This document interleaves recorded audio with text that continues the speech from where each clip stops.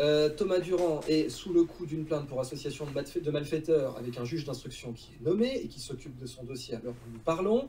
Il est pourtant proche de Julien Pain. Et là maintenant, vous êtes... Bien. Euh, à ma connaissance, ça n'est pas vrai. Alors, est-ce que je suis proche de Julien Pain parce que je suis apparu dans une vidéo avec lui? Demandez-vous ce que ça veut dire être proche des gens? Je, sais que M. Aberkan a, son propre usage des mots. Hein. Bon, bref. Euh, donc, à ma connaissance, euh, M. Aberkan n'a pas porté plainte euh, après le fameux coup de filet dans la sphère zététique qu'il a annoncé au mois d'avril. il n'a jamais su répondre que par des injures au détricotage de son CV fictionnel, en partie fictionnel, euh, et au débunkage de, de ses travaux. C'est quelqu'un qui ne répond pas sur le fond, qui, qui injurie, qui rabaisse les gens. Bon, euh, c'est comme ça. Il y a des gens qui sont euh, ainsi, et les gens qui le suivent sont sur la même longueur d'onde. Allez regarder la section commentaire de cette vidéo ou des vidéos où je traite du sujet Berkane en général, parce que malheureusement c'est un feuilleton. Regardez comment les gens se comportent. Et si vous êtes pro-Berkane, demandez-vous l'image que ça donne de vous et des gens autour de vous, et même de lui. Je, j'espère, je sais, et j'espère que les gens de la communauté sceptique se comportent mieux. Pas parfaitement, on doit faire des efforts, mais le, nombre d'injures et de menaces que l'on reçoit dans cette affaire dépasse l'entendement. Euh, si vous pensez vraiment avoir raison, chers gens qui croyaient à, à Berkane, comportez-vous de manière logique, cohérente par rapport à ce que vous dites que vous croyez. Nous insulter, nous menacer, nous rabaisser, je dis nous, moi et tous ceux qui, sont cités nommément par cet individu, ne peut pas être une stratégie valide dans une démocratie. Ça n'a aucune chance. C'est une stratégie d'intimidation, c'est une stratégie mafieuse, puisque lui, il aime bien utiliser la comparaison avec le système mafieux, le système où on menace les gens, où on fait pression sur eux, où on tente de les soudoyer. Retenez cette expression. Euh, ça appartient au monde mafieux. Nous, on est dans l'argumentation. Et ici, je ne vais pas essayer de défendre la personne qui est attaquée par cette dame, ni d'attaquer cette dame qui attaque cette personne. Je vais essayer de d'analyser l'acte de communication de ce monsieur-là. Il se joue quelque chose dans cette vidéo du 22 novembre euh, qui est assez grave, je trouve. On, gravit des échelons dans, dans, la gravité, dans le sordide, dans le... c'est assez ignoble. Bon, bref.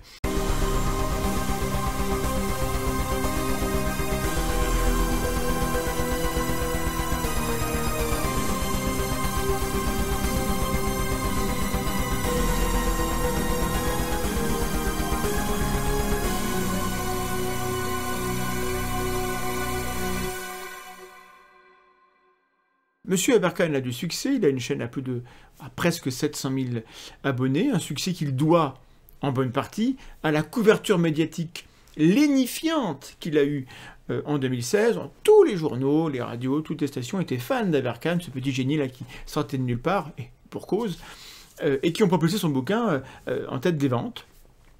il doit aussi son succès au prosélytisme fervent de la complosphère qu'il drague depuis puis sa disgrâce dans les milieux académiques et des grands médias. Voilà, les deux piliers sur lesquels euh, repose la trajectoire de M. Berkane. Un franc succès dans les médias, une disgrâce, et il s'est recyclé dans la complosphère qui n'avait pas mieux à se mettre sous la dent. Et voilà où on en est maintenant, en fait. Alors bien sûr, en démocratie, il faut supporter que des arnaqueurs jouent avec les limites du système, se fassent les porte-voix d'idéologies indifférentes à la vérité, euh, on a des parasites partout. Bon, c'est le jeu de la liberté d'expression. Je ne veux pas que on se mette à censurer les gens. Mais si on ne censure pas, il faut avoir les moyens de contredire, euh, d'expliquer, euh, de ne pas, pas d'être à armes égales parce qu'on est toujours en retard sur le bullshit, mais au moins d'avoir des moyens de faire quelque chose. Et je constate que sur les plateformes, euh, et ça ne va pas aller en s'arrangeant euh, avec le retour de l'arrivée d'Elon Musk, je constate qu'il y a une prime au bullshit, à la baliverne, à l'histoire fausse mais euh, réconfortante, appétante pour tout un tas de raisons. Il y a une crise de la confiance dans la parole des autorités, dans la parole de la science, des journalistes, qui est en bonne partie méritée. N'empêche que si on retire la confiance, comment on fait pour vivre ensemble? Comment on fait pour prendre des décisions et pour valider les décisions qu'on prend ensemble? Sur la base de quoi est-ce qu'on décide? On va être dans la merde. Et faire confiance à un type pareil, qui raconte essentiellement des cracks, pour se mettre en valeur, qui ne sait raconter que des histoires où lui, il est le héros, euh, et qui vulgarise mal, qui se plante, qui fait des erreurs, et qui ne le reconnaît jamais, et qui rabaisse constamment tous ceux qui veulent dire euh, qu'il y a des problèmes. Euh, évidemment qu'il est l'antithèse même des gens en qui, en qui on peut faire confiance. Mais des gens ont décidé qu'il était plus fiable que les autres. Bon. Revenons à cette vidéo du 22 novembre, dans laquelle M. Aberkan euh, qui n'a jamais répondu donc aux, critiques sur le fond, qui s'est défendu en mode ah vous êtes des méchants rageurs racistes, décide que pour se défendre, le mieux est encore d'attaquer. Donc il attaque d'une manière indécente. Il aurait pu choisir de livrer une enquête démontrant qu'il a raison ou tentant de démontrer qu'il a raison. Il aurait pu publier un article scientifique à l'appui de sa prétention d'avoir résolu la conjecture de Syracuse, pour vous donner un ordre de grandeur du ridicule, parce que je pense que c'est assez dur d'imaginer le ridicule quand, on n'est pas soi-même dans les mathématiques. Imaginez que M. Aberkan prétende qu'il a grillé Usain Bolt au 100 mètres, mais que les autres athlètes, bah, ils courent pas assez vite, alors il peut pas s'en rendre compte. Et lui, dans son coin, il est sûr qu'il court plus vite qu'Usain Bolt, et il a des gens autour de lui qui n'ont jamais couru de leur vie, qui disent Ouais, ouais, bah nous on te croit. On en est là. Euh, ça, il n'a pas beaucoup, beaucoup défendu euh, ce travail-là lorsqu'il y a eu des critiques des rares chercheurs qui s'intéressent à, cette pitrerie. Il aurait pu rassembler des chercheurs de premier plan pour défendre le traitement euh, contre le Covid à base de chloroquine ou d'hydroxychloroquine. il aurait pu faire un travail de, fond. Il aurait pu livrer une enquête journalistique démontrant l'existence de malversations, de mensonges, d'intentions malhonnêtes chez ceux qui le critiquent, chez les méchants sceptiques, les esthéticiens, il aurait pu euh, faire ce travail. Il aurait pu prouver la corruption dont il accuse tout le monde en échappant jusqu'à présent à des plaintes en diffamation qu'il mériterait. Mais on n'a rien de tout ça. Et à la place, il nous fait une émission en direct où il exploite un contentieux matrimonial, un conflit de famille, en donnant la parole à une dame très remontée, elle a ses raisons, contre son ex-mari, euh, qu'elle traite d'abruti de service, de pion, voilà, elle, euh, rentre dans le narratif euh, d'Aberkan. Je précise que Antoine Daoust, qui est la personne qui est mise en cause dans cette vidéo, a porté plainte pour diffamation contre son ex-femme plusieurs fois, ce qui n'est jamais signalé par M. Aberkan, qui adore rappeler que lui porte plainte alors qu'on va rien venir. Parenthèse. À toutes fins utiles, je déclare sur l'honneur n'avoir aucun lien d'intérêt avec Fact and Furious ou M. Antoine Daoust, donc aucun conflit possible. Je ne me suis concerté avec personne avant d'écrire ce billet euh, qui est écrit sur le blog Amnasterist, qui est devenu maintenant une vidéo.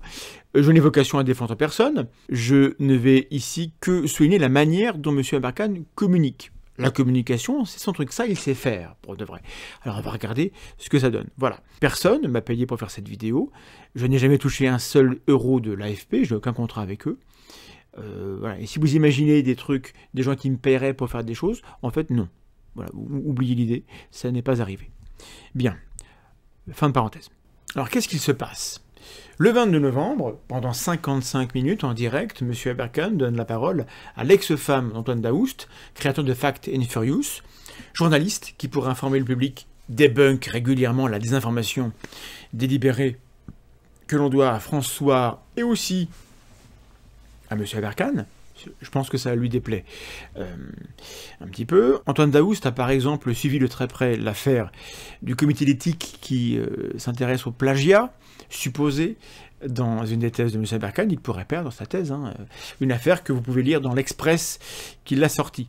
Cette dame, donc, Malika Daoust, vient raconter tout le mal qu'elle pense de son ex-mari, et c'est son droit, à M. Aberkan, qui est assez malin tout au long de l'émission pour rappeler régulièrement que le mis en cause est présumé innocent, qu'il s'agit d'opinion, n'empêche qu'il donne la parole quand même, hein, il a choisi de faire un live. Pourquoi un direct? S'il avait choisi, M. Eberkan, un entretien enregistré, ben, il aurait été de son ressort, de sa responsabilité, de couper au montage les propos euh, pouvant euh, porter atteinte à l'honneur, etc., les, propos diffamatoires ou les, ou les calomnies. Si au montage il garde les calomnies, il devient responsable des calomnies. Là, il choisit un direct en se disant sans doute, bah là, je maîtrise pas, il n'y a pas de montage, on ne peut pas me reprocher les propos que tiendra Madame Daoust. Or, j'espère qu'aucun juge ne serait dupe si jamais l'affaire devait en, arriver là. Euh, il fait le choix délibéré de faire un direct. Il fait le choix délibéré de laisser ça devant 700 000 abonnés, abreuvé au narratif du héros, chevalier blanc, euh, assailli par des vilains, euh, une communauté qui est propice aux menaces, au harcèlement, voire pire. Je vous rappelle que Thomas Huchon qui travaille dans le, débunkage des fake news complotistes, a été agressé brutalement. Euh, il a été blessé. Euh, c'est à cette communauté-là que M. Aberkan s'adresse. Il veut bien le savoir, hein, puisqu'il tire sur, sur, les cordes sensibles de ces gens-là. Revenons-en aux, accusations qui reposent sur le témoignage de Mme Daous et sur des documents qu'elle qu'elle fournit. Dans cette vidéo, M. Antoine Daous est accusé d'être un menteur, un escroc euh, qui maquille et vend de fausses ordonnances et de fausses euh, PCR, un arriviste qui ne fait tout ça que pour l'argent, euh, un journaliste corrompu et un mari violent. Rien que ça, rien que ça. Alors bien sûr, évidemment, si c'est vrai, c'est très grave. Si c'est vrai, c'est très grave, c'est le leitmotiv, c'est l'ADN euh, du complotisme. Quand un récit complotiste circule, c'est parce que des gens le partagent en se disant Oh la vache, si c'est vrai, c'est très grave. Euh, et on oublie que ça pourrait ne pas être vrai. Il y a plein de biais impliqués là-dedans, je ne vais pas rentrer dans, dans, dans les détails, mais rappelez-vous de ça. Si c'est vrai, c'est très grave. C'est tellement grave que, heureusement qu'on s'énerve, heureusement qu'on s'indigne. Sauf que, chers amis, il faudrait qu'on apprenne aussi parfois à se dire Oula, si c'est vrai, c'est grave, mais est-ce que c'est vrai? Si Antoine Daoust est coupable de tout ce qu'il a raconté, moi je veux qu'on le punisse. On est une société où on punit les gens qui font des choses mauvaises. Mais quand on veut de la justice, et pas juste bousiller la vie de quelqu'un, alors euh, on est prudent. Euh, et moi, je vous le dis tout de go, je ne pense pas que M. Albert Kahn fasse grand cas euh, de la parole des victimes qu'il soit soudain très intéressé par les violences sexistes et sexuelles euh, par le, problème de la, dénonciation et de la répression des violences faites aux femmes. Je ne pense pas que ça l'intéresse beaucoup, sinon ça se verrait dans son parcours. Je ne pense pas qu'il rende service à la crédibilité de la parole de cette dame, parce qu'en mélangeant, comme il le fait, les accusations de type violence, euh, pénale, et les accusations vagues d'officines secrètes, de réseaux comme ça de méchants et de, et de corruption, cette confusion, ce mélange des genres, ça ne peut pas être bénéfique à la parole des victimes, ou de la victime en particulier, dans ce cas-là. Euh, et donc c'est particulièrement dégueulasse, évidemment, d'exploiter ce filon-là, euh, en présentant cette dame d'abord comme une victime de violence, pour ensuite embrayer sur elle a été témoin de différentes choses, et de, de rappeler son statut de femme victime pour accréditer les accusations qu'elle porte par ailleurs. Là, il fait le pari de on va vous scandaliser, d'ailleurs il parle de scandale d'État, on va vous activer en vous des émotions, du dégoût, du rejet, et en douce d'ailleurs, on vous fait passer le récit euh, complotiste qu'il existe des officines qui travaillent dans l'ombre à relayer tel ou tel propos et à détruire euh, Aberkan, Raoult, Perron et les autres qui en fait se détruisent tout seuls. Hein. Évidemment. Le monde du journalisme est vaste. L'histoire de Malika Daoust pourrait intéresser n'importe quelle rédaction où le respect des principes déontologiques garantit au public que bah, les journalistes ont travaillé, ont vérifié, ont été prudents euh, avant de publier le témoignage. Les journaux sont remplis, je vous le garantis, de gens aux idées diverses, euh, variées, euh, de tous bords, où vous trouverez toujours quelqu'un pour s'intéresser aux casseroles de n'importe qui. Si vous cherchez euh, à me nuire, vous trouverez des journalistes qui sont très très open à l'idée de le faire. Et eh ben c'est pareil pour n'importe qui. Il y aura toujours des journalistes euh, pour X raisons qui seront prêts à écouter une victime potentielle pour creuser le sujet. là, en l'occurrence, Madame Daoust a choisi, peut-être parce qu'elle était mal conseillée, de se fier à la crédibilité de messieurs Aberkan et Azalbert. Avec cette vidéo du 22 novembre, le lynchage numérique d'Antoine Daoust euh, par la complosphère est assuré, il a débuté, évidemment. J'en ressens les contre-coups moi-même parce que j'étais tagué par quelques personnes et je vois la masse que ça prend, je vois l'importance que ça prend. Euh, récemment, M. Aberkan a été l'invité de Radio Courtoisie, va chez les fachos, de Sud Radio, chez Berkoff et le complotisme euh, débridé d'une antenne qui devrait avoir honte un peu de, de ce qu'elle fait. Donc on en parle de partout. Et Monsieur Didier Raoult n'a rien trouvé de mieux que de partager cette vidéo du 22 euh, novembre. Alors, à sa décharge, comme d'habitude, je pense qu'il n'a pas regardé. Il, ne lit pas les articles qu'il signe, il n'a pas vu la vidéo qu'il partage. Mais s'il l'a vu, et s'il se fait la caution de la manipulation qui est à l'œuvre, euh, j'ai beaucoup, beaucoup de mépris pour cet homme. Bref, donc euh, lynchage, cyberharcèlement, François, euh, par la voix de monsieur euh, Azalbert, a publié sur Twitter des extraits d'échanges privés, euh, glanés par une source que je ne connais pas, dans le but de prouver l'existence d'une sorte de gang mafieux. Donc moi, évidemment, ayant, ayant enquêté et connu des, affaires mafieuses par le passé, j'ai bien davantage l'impression qu'on a affaire à un réseau qui a un comportement presque mafieux à certains égards qu'un réseau de fact-checking. C'est exactement ça, oui. C'est ça. C'est oui, c'est un réseau de un réseau de mafieux. C'est d'ailleurs ce que c'est comme ça que je les appelle. Est-ce que vous, vous, avez craint pour vous-même? Parce que vous m'avez dit que dans ces moments précis, encore une fois, bon, on n'est pas là pour, faire, pour parler d'une affaire matrimoniale. Le contenu des échanges publiés par, euh, par M. Azalbert euh, montre-t-il autre chose qu'un journaliste entretenant des relations cordiales avec des personnes à même de fournir des informations avant qu'elles ne circulent? C'est pas mon sentiment, c'est pas mon impression, je peux me tromper, euh, auquel cas vous pouvez peut-être me montrer en quoi ces extraits prouvent quelque chose. Mais si ces extraits ne prouvent rien, à quoi bon les publier? J'ai mon avis, je pense que le but, c'est de valider tout le reste, tout ce qu'il y a eu avant. De dire, regardez, euh, Antoine Daoust obéit à des ordres. Vous, vous l'avez donc vu au travail. Et vous avez confirmé qu'il prenait des ordres et qu'il enquêtait uniquement, euh, bien que Fact and Furious se présentait systématiquement comme une, un organe de fact. Il obéit à des ordres et c'est pour ça qu'il critique Raoult, euh, Perron, Azalbert et Aberkan. Il est payé par des gens pour dire du mal d'eux, qui sera ensuite repris par les journaux et qui finira ensuite sur Wikipédia. le statut euh, de Wikipédia est, beaucoup remis en question par M. Berkane.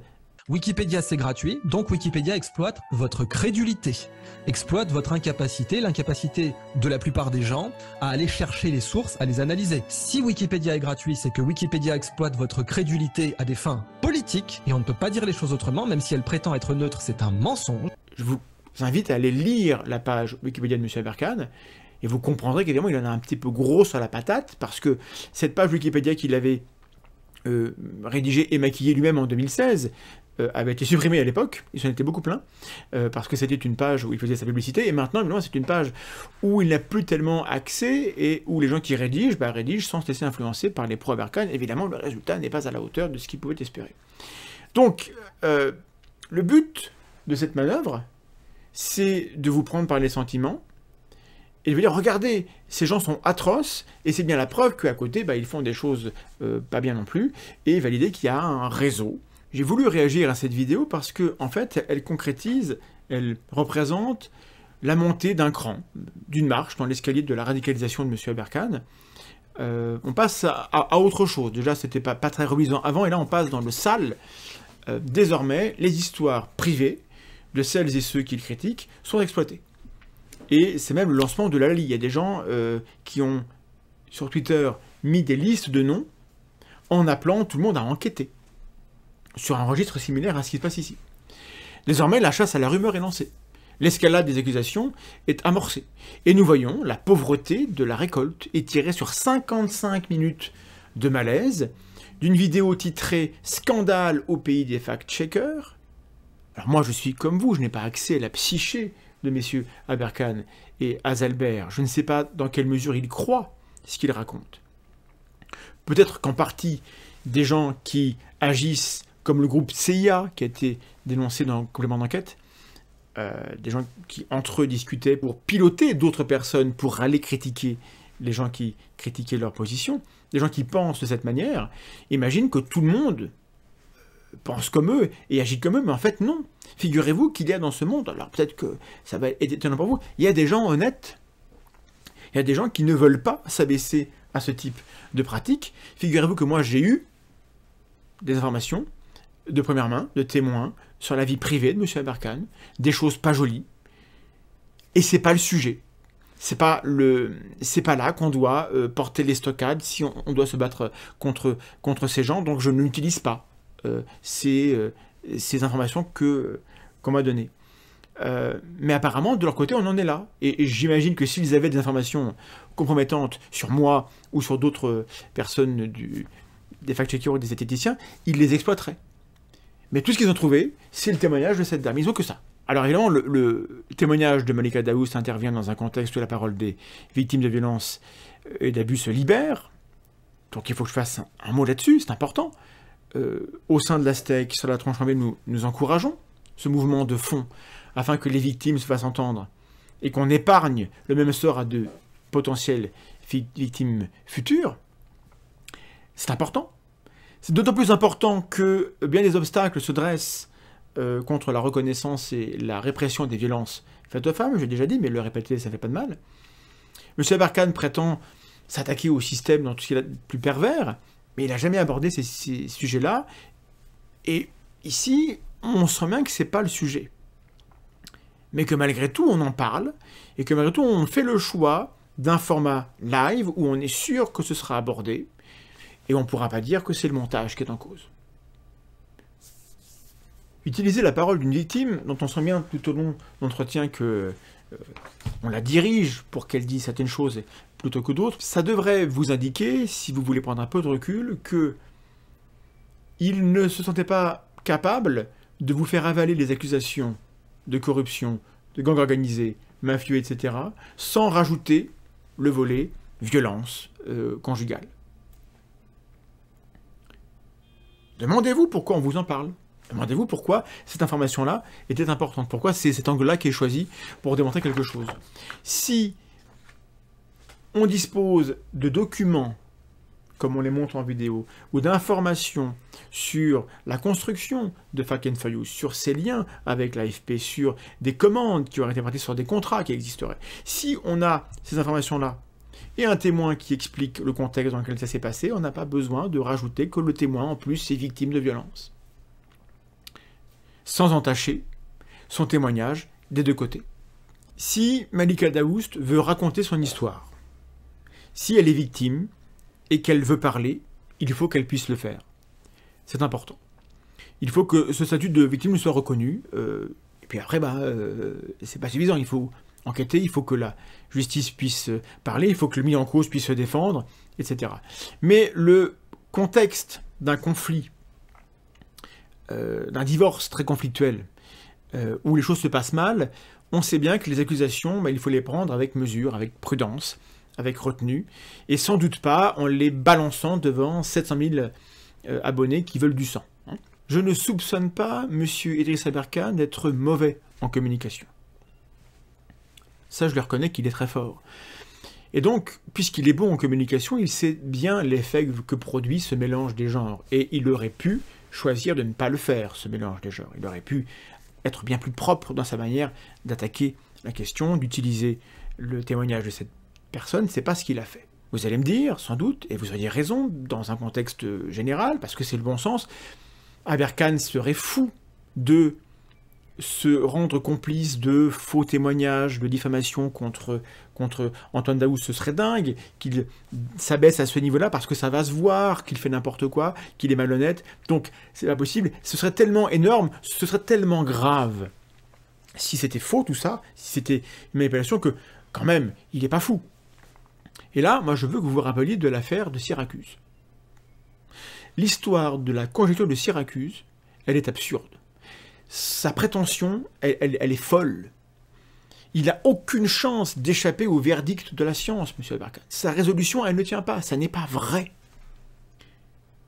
Et pourtant, sur un dossier où il n'a aucune chance de l'emporter, il continue, il baratine, il en rajoute, il fait des rodomontades, il dit que c'est lui qui juge, qui fait audit du monde scientifique. Il a ce culot-là. Il a cette stratégie de dire je vous en fume maintenant, et puis je verrai plus tard si jamais je dois me dépatouiller et je trouverai autre chose. Et cette stratégie à l'œuvre, qui est perdante en toute logique, on voit qu'elle est gagnante dans le milieu complotiste où la vérité n'est pas si importante que ça, où ce qui est important c'est la posture, le, la capacité de donner des billes à des gens qui veulent attaquer d'autres gens. Donc Amerkan, il est le, le dealer ça d'arguments, le dealer d'infos dont certains ont besoin pour pouvoir haïr en bonne conscience tout un tas de gens. Et donc il mise là-dessus, il mise sur la, courte vue et une sorte de bêtise ou d'apathie ou, de, ou, de, cécité de son public. Et ce qui est à l'œuvre et, qu'on voit sur Syracuse, ben, je suis désolé, mais je le vois à l'œuvre dans cet acte de communication. Et donc, oui, si jamais tout ça c'est de la manipulation, c'est grave, c'est dégueulasse et c'est scandaleux et c'est risqué pour lui, d'accord, mais c'est pas une première. Et jusqu'à présent, il s'en sort bien. Jusqu'à présent, il a une trajectoire, ok, il est plus à la télé, mais il a beaucoup d'abonnés, il a beaucoup d'argent, il a beaucoup de succès.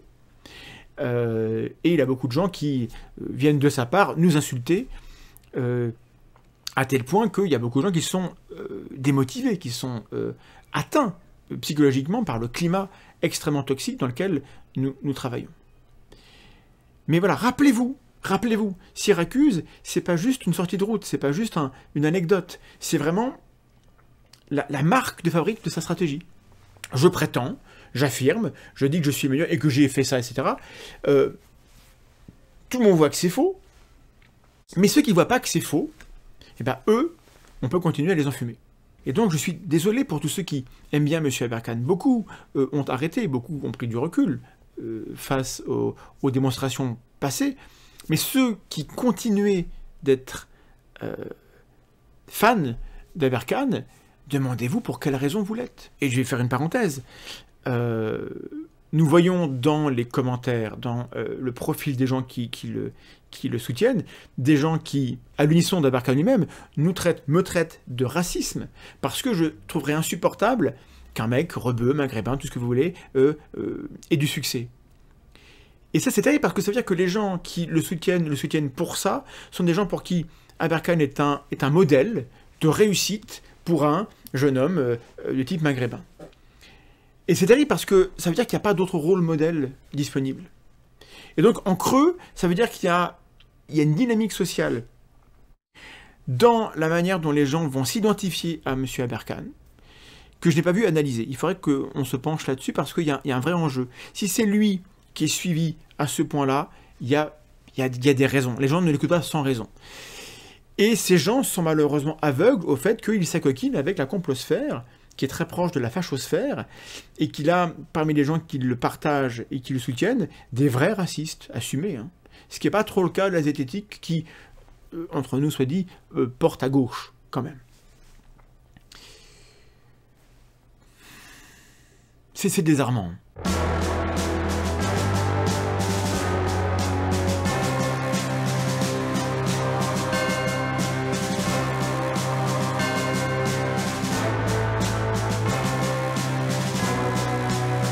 Du côté de François, c'est comme d'habitude à la fois sordide et ridicule. J'ai été publiquement interpellé par le patron, blogueur, monsieur Xavier Azalbert, euh, qui m'a attaqué plusieurs fois, qui semble vouloir euh, être journaliste de Twitter, donc il a voulu conduire un interrogatoire, une interview euh, à la Élise Lucet, très très euh, martial comme ça, euh, sur Twitter. Donc je vais vous lire l'échange que nous avons eu, et je vous encourage, si vous donnez des cours de pensée critique, à l'utiliser. C'est un support que je trouve parfaitement à, la, limite de la caricature. Dans l'exemple d'une fallacie que vous allez reconnaître, je vous dirai son nom en lisant, euh, donc j'ai droit à un, tag, M. Azalbert euh, accuse Antoine Daouz de diverses choses, et accuse d'autres personnes, dont moi, d'être au courant euh, des violences conjugales, d'être au courant qu'il y aurait de fausses ordonnances, de fausses PCR, d'être au courant euh, qu'il y aurait des commandes, des contrats, voire même d'être commanditaire des articles de Fact and Furious ou d'avoir écrit des tweets. Sur la base de je ne sais pas. Je ne sais pas sur la base de quoi M. Asbert lance des accusations.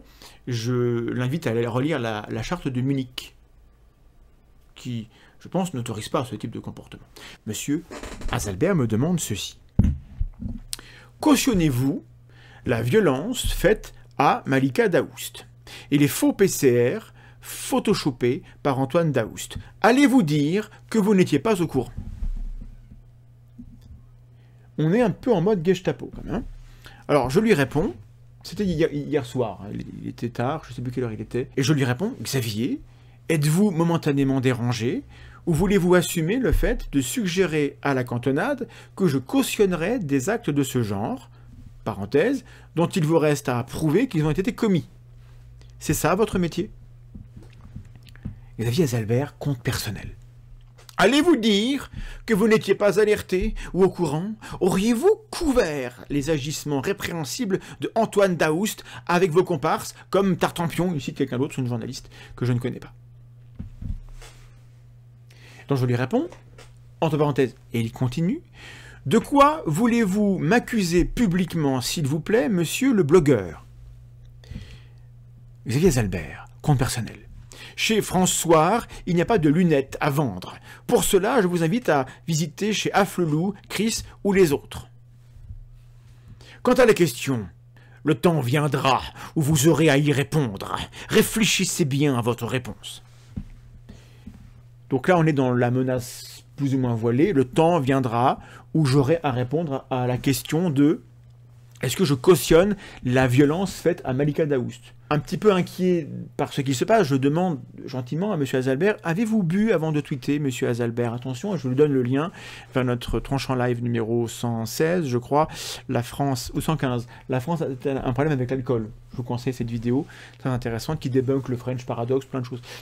Euh, donc il me répond, vous avez mis vos lunettes, allumez la mémoire et réfléchissez bien à votre réponse. Étiez-vous au courant des violences conjugales? Étiez-vous au courant qu'Antoine Daoust vendait des faux tests PCR Cautionnez-vous ces actes ou condamnez-vous Donc là, on est face à un plurium interrogatum, qu'on appelle la question chargée.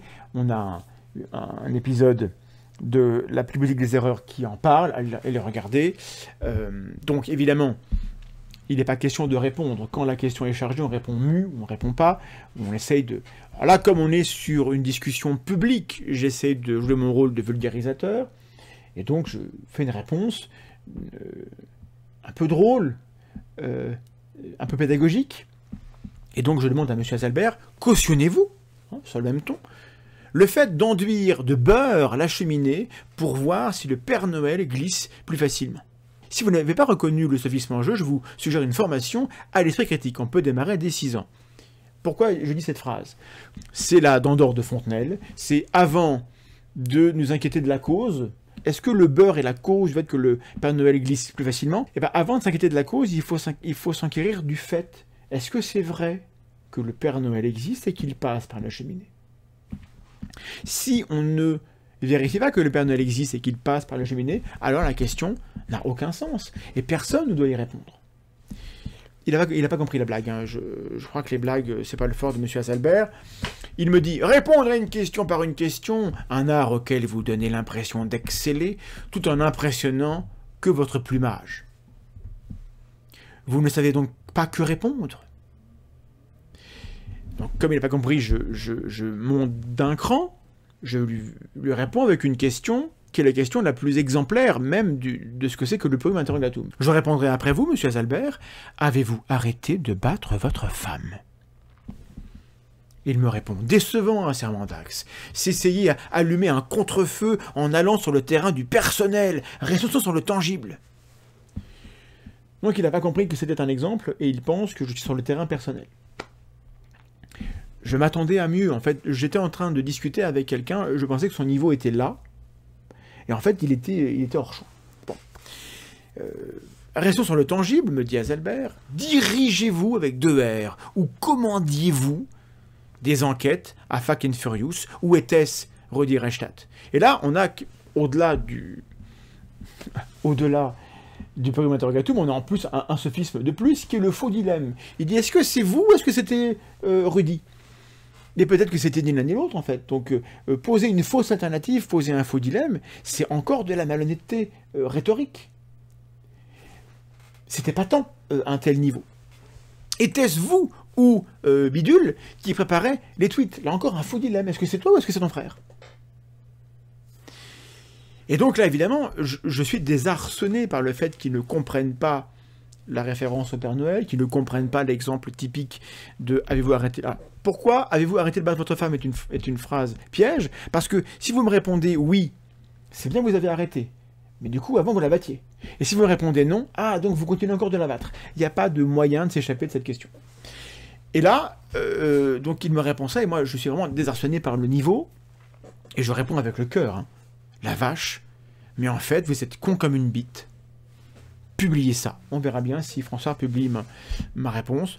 Je pense vraiment que M. Azalbert est con comme une bite. Euh, mais je pense aussi qu'il est malhonnête. À ma réponse sur avez-vous arrêté de battre votre femme, il revient un peu plus tard, euh, après sa réponse, et il me dit enlevé ou plainte assurée. Et là, c'est intéressant. Parce que, outre le fait qu'il n'a pas d'humour, le fait qu'il vienne me dire que cette question chargée mérite qu'il porte plainte, ça montre quoi? Ça montre que lorsqu'il est face à la rhétorique qu'il utilise, il comprend très très bien qu'il y a une accusation, qu'il y a une diffamation, mérite euh, qu'on mérite de répondre par la plainte.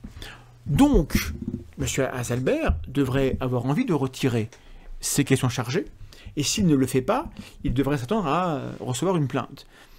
Et peut-être que c'est ce qui va arriver. Euh, alors, je ne vais pas vous lire tous les échanges euh, qu'il y a eu, je ne suis pas à jour. Je sais que M. Aberkan est passé cet après-midi chez André Verkoff, sur Sud Radio. M. Aberkan, donc, euh, à 22 minutes 35, balance une phrase qui ressemble à celle que j'ai mise en introduction de la vidéo que vous regardez.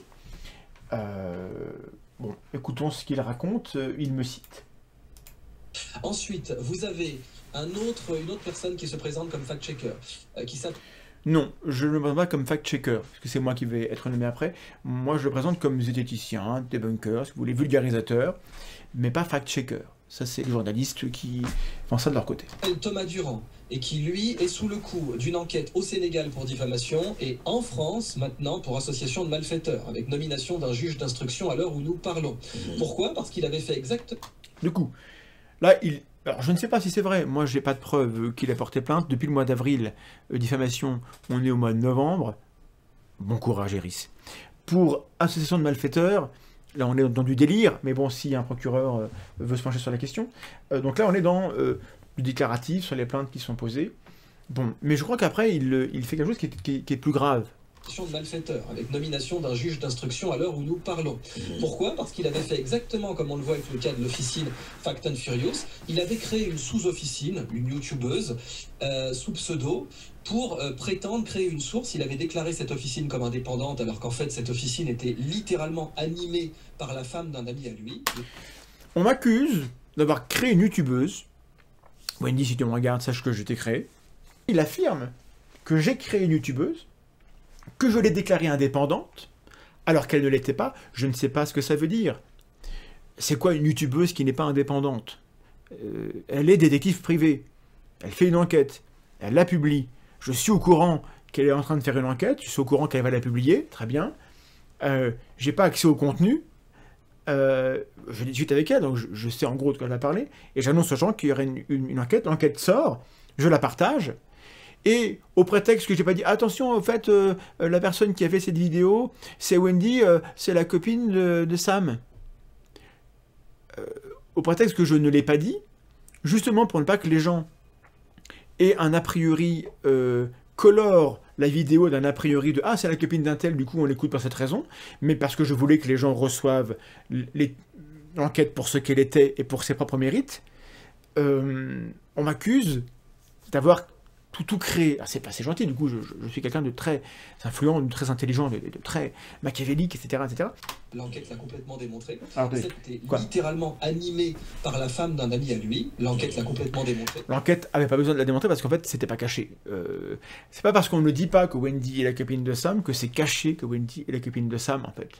Euh, allez regarder un petit peu la, la vidéo, on voit son tatouage. Enfin, il y, a- il y a plein de choses qui sont en fait euh, des, des Easter eggs qui sont là pour montrer de qui il est question. Donc, c'était pas une... le but n'était pas de cacher qui est derrière le- le- l'enquête. Mais bon, ça, ça lui passe un peu au-dessus. Et cette personne se retrouve donc aujourd'hui euh, sous, sous accusation pénale pour association de malfaiteurs. Et on a donc Antoine Daoust, autre fact-checker, Voilà, bref. Alors moi, j'aimerais bien dire à monsieur André Berkoff qu'il faudrait peut-être qu'il soit à la hauteur de la charte de Munich. Euh, J'ai été accusé de ça sur son antenne. Qu'est-ce qui se passe? J'ai droit à un, droit de réponse? J'ai droit moi aussi à 38 minutes de direct avec lui pour expliquer ce que c'est que les zététiques, ce qu'on fait, pourquoi c'est important de douter euh, des infos, de, se fier aux infos fiables, de se méfier de, des récits complotistes, etc. Peut-être qu'il il pourrait avoir envie de donner la parole à, à- à autre chose qu'à des complotistes euh, et à des gens que je ne qualifierais pas. Voilà. Euh, donc voilà où on en est. Il y a certainement d'autres choses qui sont. J'ai pas vu le passage de M. Abarkan chez euh, Radio Courtoisie. On est dans du sale, on est dans du, dans du poisseux, on est dans. C'est pas du drama, c'est plus grave que ça.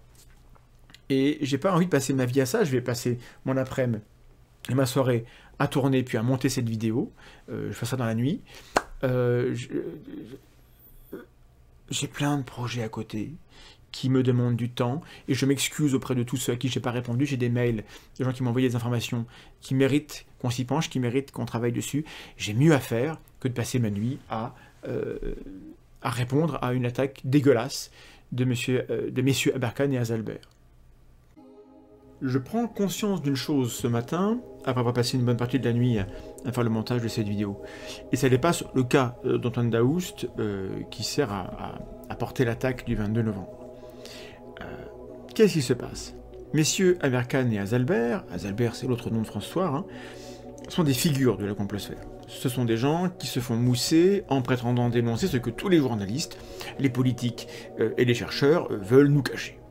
Ils dénoncent des intentions cachées, ils ont accès à l'âme des gens, des collusions, ils veulent imaginer des amitiés coupables, de la corruption généralisée, et sur la base de quoi Bah, De leur envie de raconter des histoires comme ça, parce qu'on n'a pas vu beaucoup de, preuves. Bref, ce sont de purs complotistes, 24 carats. Voilà, ça c'est le point de départ. Leur business lucratif est contrarié dans les faits par des gens qui viennent les contredire, euh, qui font du débunkage, euh, qui sont actifs sur les réseaux, on est quelques-uns. Euh, et en fait, il est donc parfaitement logique que se déroule l'étape qu'on est en train de vivre, finalement. Finalement, quand des complotistes veulent se débarrasser de, gens qui mettent leur business en danger, qu'est-ce qu'ils font? Ils vont pas soudainement se mettre à penser correctement, à argumenter proprement, à savoir travailler. Euh, non, ils, ils vont faire ce qu'ils savent faire, évidemment. Ils élaborent une théorie du complot, ils produisent le type de narratif qui a fait leur succès, qui plaît à leurs fans, qui a toujours été profitable à leurs petites affaires. Et donc je me retrouve aujourd'hui à devoir admettre qu'il ne faudrait pas que je m'étonne d'être désormais un personnage de leur métafiction.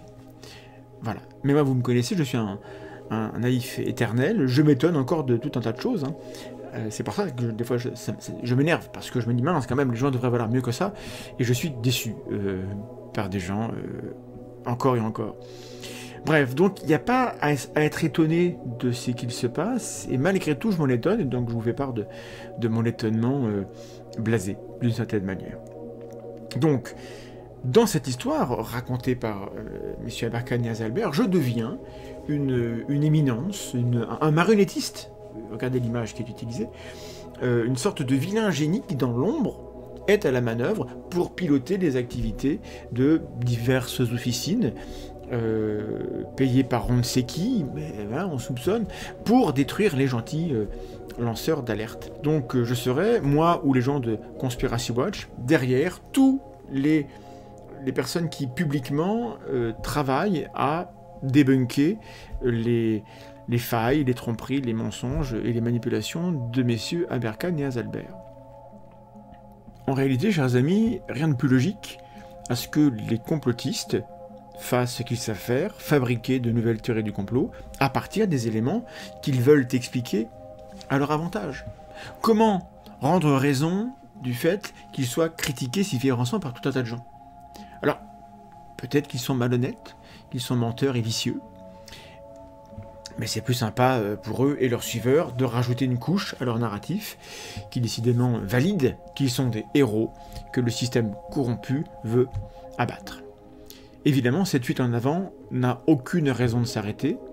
On en est maintenant à des accusations portées euh, contre moi euh, délirantes hein, dans, des médias mainstream ou presque.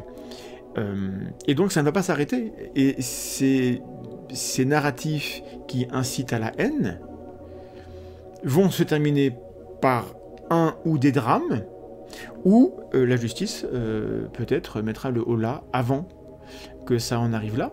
Je ne vois pas malheureusement quelle autre issue il y aurait. Les gens dont nous parlons n'ont aucune voie de sortie. Ils sont engagés jusqu'au cou dans un, narratif qu'ils ne peuvent plus abandonner.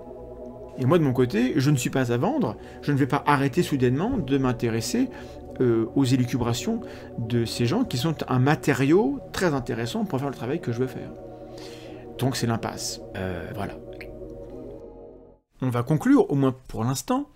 Au final, dans cette séquence, messieurs Aberkan et Azalbert de François multiplient les allégations, les accusations, les soupçons, les insinuations, tout en prétendant remettre sur les seules épaules de Malika Daoust la responsabilité de ce qu'il publie c'est elle la source, c'est elle qui donne les documents, ils ne savent pas, eux, d'ailleurs, Aberkan le dit pendant le direct, il ne peut pas attester que les documents sont vrais, mais en tout cas, en tout cas il, s'en fait l'écho, et il le montre à, tout le monde. Vous faites état de falsification de documents, mais moi j'ai vu des documents qui m'avaient l'air faux, mais je suis en aucun cas capable de me prononcer sur leur, caractère délictueux ou pas, et vous m'avez en effet produit des documents dont je considère qu'ils sont passablement suspects, c'est vrai, mais en aucun cas, je ne peux dire que Antoine Daous s'est rendu coupable de quoi que ce soit, et de toute façon, c'est à un tribunal d'en juger. Mais cependant. Alors, est-ce qu'Antoine Daous a fait, a maquillé de fausses ordonnances?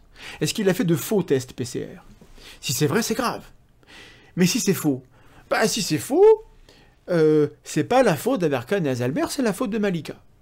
Et c'est là qu'on vous baise, qu'on essaye en tout cas de vous avoir.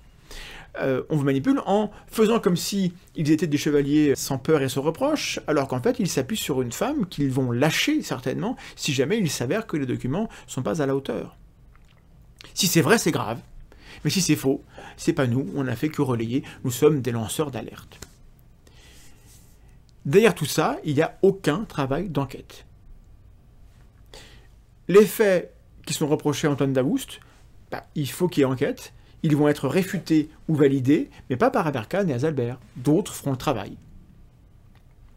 Aberkan et Azalbert n'ont pas fait avancer, euh, n'ont pas aidé à manifester la vérité, ils ont manipulé euh, pour faire avancer leur bille, pour cracher sur des gens qui portent atteinte à leur business, qui portent atteinte à leur crédibilité. Et ils ont utilisé pour ça un témoin qui, indépendamment des faits, dans ce contexte-là, a été instrumentalisé.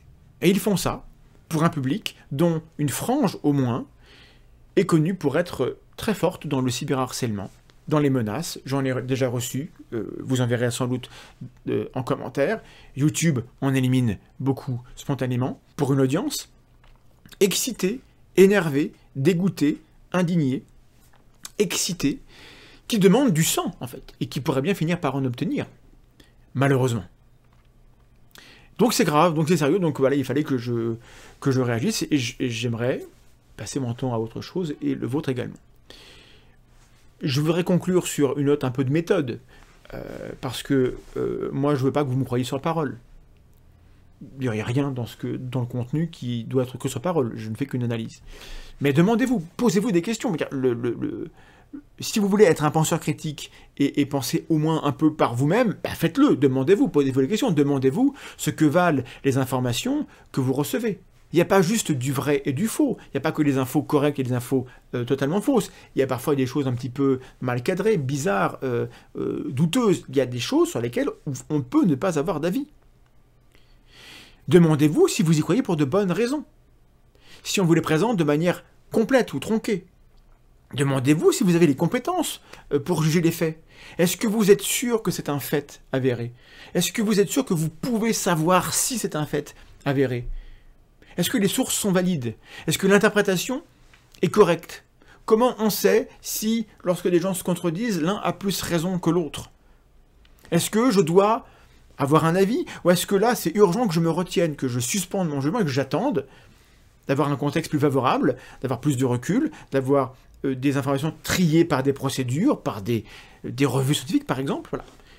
Si toutes ces questions-là euh, vous semblent superflues parce que la vérité est évidente, j'ai une mauvaise nouvelle. Euh, c'est la preuve que vous devez vous les poser de manière très très très sérieuse en fait. Parce que les gens qui croient que tout est évident et que la vérité est simple sont ceux qu'on peut manipuler les plus facilement. Si vous êtes manipulable, vous finirez par être manipulé. Et les gens qui pensent être le moins manipulable malheureusement, c'est pas qu'ils le sont forcément le plus. Mais quand on est sûr de soi, évidemment, on est sûr de ne pas se tromper et donc on ne vérifie pas.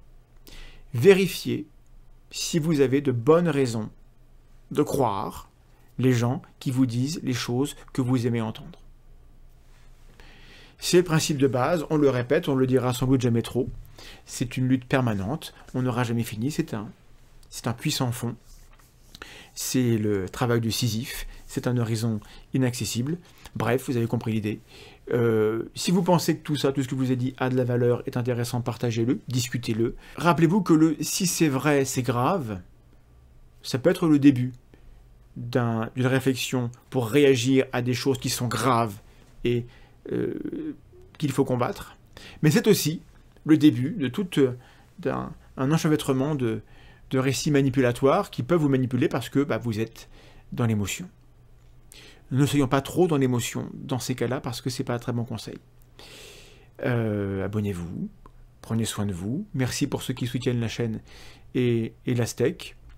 Je ne vous cache pas que il y a déjà des mesures euh, prises pour aller en justice et que ça va déjà nous coûter de l'argent. On va vous en parler bientôt et qu'il est possible qu'à cause de, tout ça, ça prenne une dimension encore plus importante, parce que peut-être qu'on ne peut pas se contenter d'analyser ce qui se passe, et peut-être qu'il faut, euh, faut réagir, peut-être qu'il faut que la justice tranche. Est-ce que M. Aberkan a le droit de porter ces accusations-là sur tout le monde, et notamment sur moi?